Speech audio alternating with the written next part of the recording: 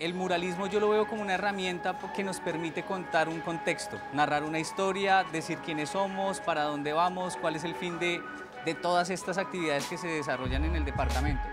Por medio del muralismo eh, me permite contar estas, estos pensamientos, ¿no? narrar estas situaciones, cuál es mi nuevo contexto y cómo estoy conformando yo mi nueva identidad a partir del arte.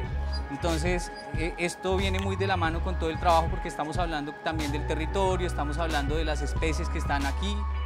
Precisamente nosotros trabajamos el muralismo tratando de acercarnos a la comunidad y que sean ellos mismos los que participan en la elaboración de los murales.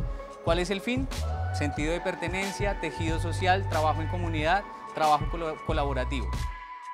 Aparte de que es mi primera vez pintando con aerosol, Guaviare está dentro de Colombia, tanto como el mundo, y o sea, representar esto en una obra de arte, como lo es esta, arte abstracto, si analizamos cuidadosamente podemos observar un, un significado profundo y pues es, verlo, lo hermoso que es nuestro Guaviare y realmente orgulloso, orgulloso y feliz. Porque pues bueno, la experiencia con el WWF ha sido la verdad muy gratificante.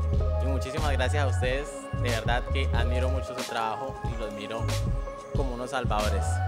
La mujer es muy bonito para la mujer, el rol de las mujeres es muy importante dentro de la sociedad, que las mujeres rurales también somos, mejor dicho, echadas para las trabajadoras.